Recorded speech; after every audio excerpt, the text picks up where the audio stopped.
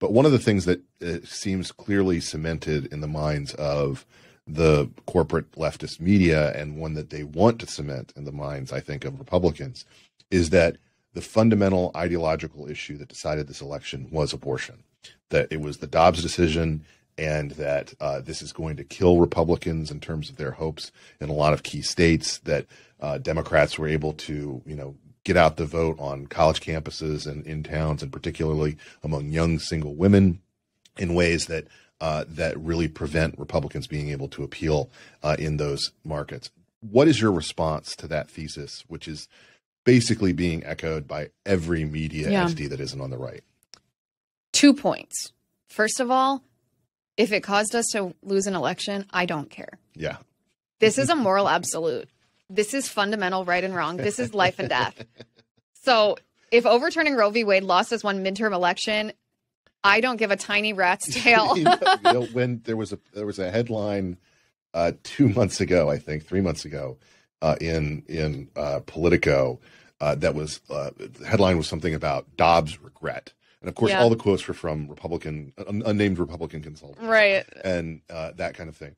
And and I remember it being passed around, and every pro lifer I know going, we don't Who care. We don't care. No, we don't care. But the second thing is it's actually not what it's portrayed to be. Surprise, surprise. The Democrats and the mainstream media are intentionally mischaracterizing it. And for this, I blame Republicans. I blame Republican candidates because what the Democrats did successfully is they took abortion and they branded it not as abortion, meaning not what is abortion? Mm-hmm. What does abortion do to an unborn baby? What is the abortion procedure? What is the outcome of this? What is the impact it has on the mother? They didn't talk about the what it is of abortion. They branded abortion as contraception. Mm-hmm.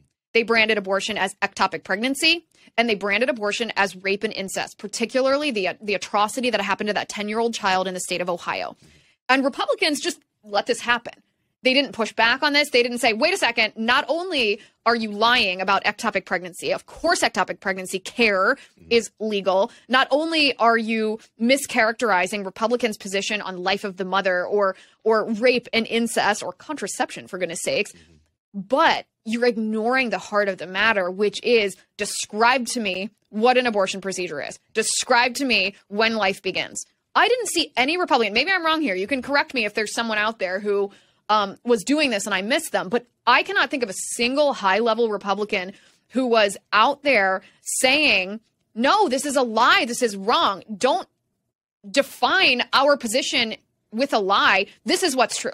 There was a, a situation back in uh, in uh, in the Virginia gubernatorial election between Ken Cuccinelli uh, and Terry McAuliffe years and years ago, where Cuccinelli, having had one of the strongest pro-life records when he was a state legislator, uh, you know, is going up against a, a radically pro-abortion candidate in, in McAuliffe. But Cuccinelli, once he won the nomination, was advised by a lot of Republicans, "Hey, you're running in a purple state. You're trying to win a very competitive uh, election. You should basically stop talking about the pro-life issue, even though it's been something that you've talked about throughout your career."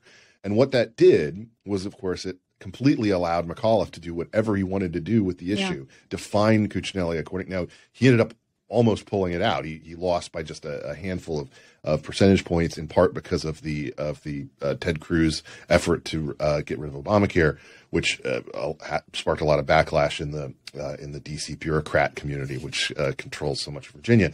But one of the big takeaways afterwards was that ceding that ground was a mistake. Yes. And I feel like they're making the same mistake now and made the same mistake. They are. 22. They allowed Democrats to define the terms of what, you know, being pro-choice means and they seemed unwilling to engage on the issue. How does that change? How do we make these politicians actually willing to fight on something that they seem so uncomfortable talking about? This isn't just something for politicians, though. That's the first thing to recognize. This is something that the Republican National Committee is supposed to be taking a leadership role on. I mean, what's what's the purpose of the RNC? The purpose is fundraising, election strategy, a platform, and branding. And they've completely neglected their role on this. I mean, every Republican consultant who essentially runs the campaigns of every of every elected member of the of Congress and the Senate were strongly advising against candidates and incumbents from even talking about or celebrating this tremendous victory from the Supreme Court, this tremendous victory from uh, for life over abortion, and the RNC has fallen short so many times. I, I talked about on my show.